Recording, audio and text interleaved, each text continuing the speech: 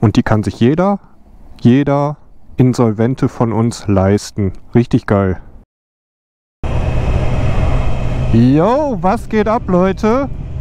Ich bin back auf dem Bike. Ihr seid gerade quasi live bei der ersten Probefahrt dabei nach meinem Crash. Ich hoffe, ich maul mich heute nicht schon wieder. Wäre nicht so geil. Ich fahre jetzt eine kleine Runde. Ich muss einfach mal eine Runde drehen. Ich habe gestern Abend vorne noch den, äh, ja, wie nennt man es, Kotflügel Fender lackiert. Hab den jetzt gerade dran geschraubt. Also der Lack ist noch gar nicht durchgehärtet. Aber ich muss jetzt eine Runde fahren. Darf halt nicht schnell fahren. Wenn da Steine gegenknallen oder so, ist das halt im Arsch. Aber eine kleine Runde durch die Stadt sollte kein Ding sein. Das Klappern, was ich hatte nach dem Sturz, ist auch weg. Das war einfach nur das Lenkerende, was äh, locker war. Also dieser, ja, dieser Pinöppel hier. Wir werden jetzt erstmal ganz entspannt diese Reifen einfahren. Ich habe nämlich echt gar keinen Bock, mich heute schon wieder auf die Fresse zu legen. Ey, das muss echt nicht sein. Hat auch gut Kohle gekostet, der Scheiß.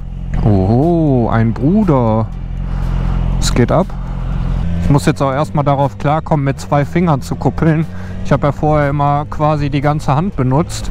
Mashallah, es war schon wieder arschkalt heute. Gestern waren 17 Grad, heute wieder 8 Grad. Ja moin. Kann sich das Wetter mal entscheiden. Richtig für den Arsch. Morgen soll wieder regnen. Ich habe mir gedacht, wir fahren eine Runde und ich werde jetzt gleich auch mal irgendwo anhalten und dann checken wir mal einmal das Bike aus weil auch einige gefragt hatten, was ich jetzt für Bremshebel fahre und was das für Spiegel sind und so. Und da werde ich gleich mal ein bisschen genauer drauf eingehen. Ich hoffe, ich habe alles festgeschraubt, ey. Ich habe echt Angst zu sterben. Ah, ist das geil, Alter. Geht mir direkt einer ab, ey. Leute, ohne Scheiß, die Spiegel, die ich dran habe. Also, ich sehe nichts. Also nicht viel. Ich sehe, dass hinter mir ein Auto steht, okay. Aber wirklich viel sehen tut man nicht. Aber die Spiegel sehen so geil aus. Ohne Scheiß, die sehen so porno aus. Werdet ihr gleich sehen. Ihr kleinen, ihr kleinen Süßen. Mein Gott, Junge, Alter. Was ist denn jetzt hier? Ey. Ab in den Süden. Der Sonne hinterher. Ey, yo, was geht? Digga, überall Fahrschule. Fahr ja. Die hat keinen Schulterblick gemacht, ich hab das gesehen. Oha, hier ist 10, ja. Am Minakoim. Aber die fahren 6. Digga, Alter. So, ich halte jetzt an und dann zeige ich euch die schönen Spiegel und die schönen anderen Sachen, wenn die scheiß Fahrschule mal fährt. Och Mann, Alter. Hier ist doch gut. Hier ist perfekt. Aminakoim. Sinalko. Ach so, die Teile, die ich euch jetzt zeigen werde, meine Freunde, diese Teile, das ist keine Werbung. Ich habe die alle selber gekauft und äh, ja, ich zeige euch die einfach. Ich drehe mich jetzt um. 3, 2, 1. Tada! Bam.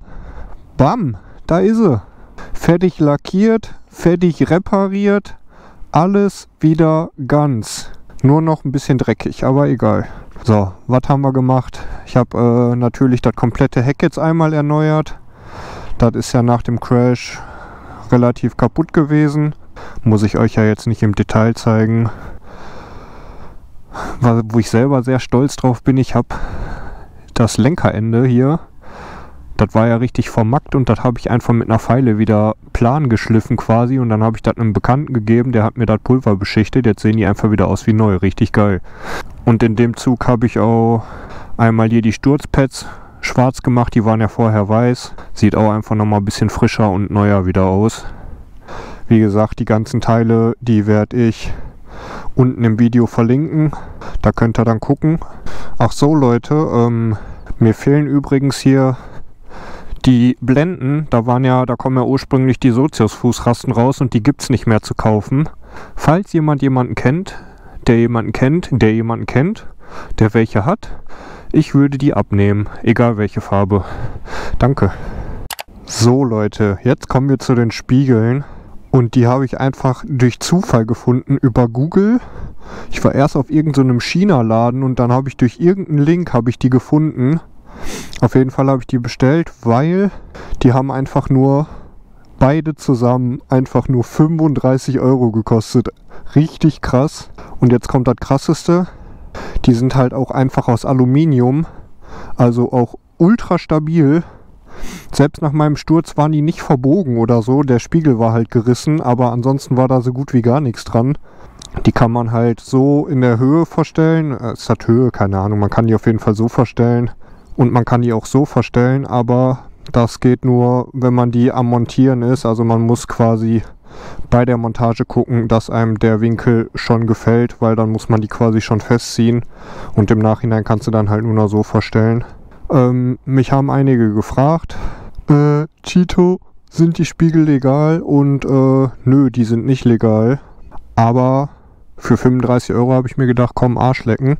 Die knallst du trotzdem dran. Einfach aus dem Grund, weil es nahezu die identischen Spiegel gibt. Ich weiß jetzt gar nicht, wie der Hersteller heißt.